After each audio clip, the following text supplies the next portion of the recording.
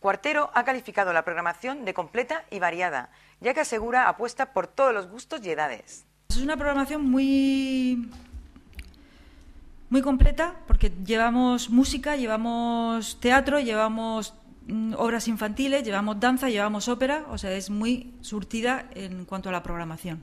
No hemos querido, hemos querido apostar por todos los, los gustos. Entre los espectáculos más destacados se encuentra la puesta en escena de la ópera Madame Butterfly, algunas obras de teatro, conciertos y un musical sobre los payasos de la tele a cargo de Rodi Aragón. El viernes 30 de octubre eh, se va a representar también otra obra de teatro, La sombra del tenorio, eh, puesto que es algo ya que es, eh, como viene todos los santos, pues ha elegido esta obra de teatro de la compañía Teatro Cero. El, actor es Rafael, la obra es de José Luis Alonso de Santos, La sombra del tenorio, dirigida por Jacobo Fernández Aguilar, y es un recorrido por el texto de Zorrilla de don Juan Tenorio. El, el actor es Rafael Lozano y que ha sido ya, como conocemos, varias veces galardonado como el mejor actor. Es también una gran obra de teatro para el viernes 30 de octubre a las ocho y media de, la tarde. Después pasamos a noviembre. En el mes de noviembre tenemos el domingo día 8 de noviembre a las 8 de la tarde la obra de, teatro Maquillaje con, con, la, con Teatro Expresión y Atanasio Díaz, el autor de Atanasio Díaz, que ya se representó y vuelven a, traerla otra vez al, teatro. La entrada también va a ser gratuita. El jueves 12 de noviembre se lo dedicamos a los más pequeños y va a ser un teatro escolar que organiza Traseduca va a ser para los centros escolares, que se titula El libro de la selva. El sábado 14 de noviembre a las 9 de la noche tenemos también una mm, hemos apostado por la danza y va a venir la compañía murciana de danza una gran compañía.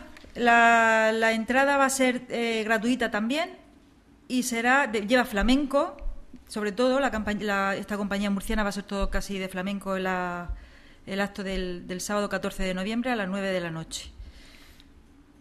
Mm, después tenemos el domingo 22 de noviembre también a las 8 de la noche el concierto de la Unión Lírica Orcelitana, de la Orquesta Unión Lírica Orcelitana gratuita, entrada gratuita también, y será a las 8 de la tarde.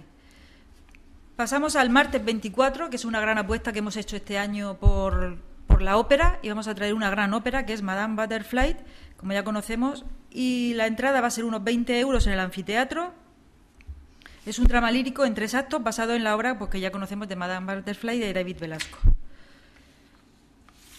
El sábado 28 de noviembre el, mm, organiza Caritas Interparroquial de Orihuela y, actuará el grupo musical Ritmo Rancio, que ya, como sabemos, son artistas de aquí, de músicos de aquí de, Orihuela. Este conocido grupo oriolano que actúa a beneficio de Caritas Interparroquial. Y va a ser una entrada de 10 euros porque es beneficio para, como hemos dicho, para Caritas. En diciembre tenemos el, para los más pequeños también Los payasos de la tele, que serán el sábado 5 de diciembre a las 6 de la tarde. Es un musical de la compañía de Rodi Aragón, como conocemos, de los payasos de la tele. La entrada será de 18 euros en el patio de butacas. Es la primera obra teatral que se hace en todo el mundo en homenaje a la gran familia Aragón. Eso para los más pequeños. Empezamos el mes de diciembre con, ese, con esa obra. La concejal ha explicado que esta programación ha sido aprobada por decreto del alcalde Emilio Vascuñana en calidad de presidente de Orihuela Cultural, ya que todavía no se ha constituido la nueva sociedad municipal, que es la que debe ratificar los actos que ofrecerá el Teatro Circo. El presidente de Orihuela Cultural es el, alcalde y, la programación está aprobada por el presidente. Sabéis que Orihuela Cultural hay que formar se ha formado el Consejo de Administración, falta convocar al Consejo de Administración y nombrar la gerencia, pero después ratificará la aprobación del presidente. La concejal de Cultura también ha respondido a las críticas que la semana pasada vertía la edil socialista Carmen Gutiérrez sobre el retraso en la presentación de la programación cultural. Ya ha manifestado que son los menos indicados para dar lecciones porque cuando ellos llegaron en 2012 tuvieron los mismos problemas. Según Begoña Cuartero, en aquel año el anterior equipo de gobierno presentó la programación en noviembre, cuando ahora se ha hecho en octubre. El Partido Socialista son los menos indicados para darnos a nosotros lecciones en cuanto a la programación cultural. Nosotros desde que llegamos aquí en la Concejalía de Cultura no hemos dejado de, trabajar en la, programación cultural. Cuando ellos llegaron, por eso digo que no pueden darnos lecciones a nosotros, porque cuando ellos llegaron tuvieron, pues, se encontrarían con los mismos problemas que nos hemos encontrado nosotros, el, volver a formar y a lo que es el Consejo de Administración de Orihuela Cultural. Ellos, cuando llegaron, mm, empezaron la programación de otoño del año 2011-2012, empezaron la programación en noviembre en noviembre del 2012. Nosotros tenemos el Teatro Circo abierto desde el 3 de octubre. Luego creo que son los menos indicados para darnos lecciones de cómo tenemos que programar para nuestros vecinos, los, los vecinos de Orihuela.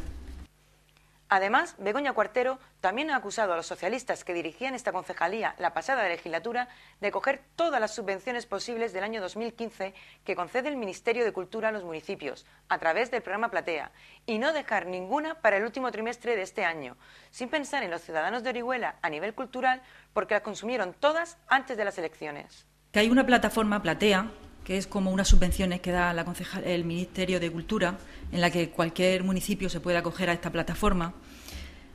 Ellos acogieron en el año 2015, al principio de 2015, se acogieron a esta plataforma y cogieron el número máximo de espectáculos que podían, que podían coger para la subvención como municipio según el número de habitantes que tiene cada municipio. Sí que los cogieron, cogieron el número máximo de espectáculos, pero los consumieron todos. O sea, que no pensaron en los ciudadanos de Orihuela en el último trimestre del año porque no, me he podido, no he podido coger ninguna subvención de este tipo porque se las consumieron todas. Se ve que pensaban, como venían las elecciones, pues las consumieron todas. Luego no pensaban en, en, los ciudadanos de Orihuela a nivel cultural. Luego, por eso digo que son los menos indicados para darnos a nosotros lecciones.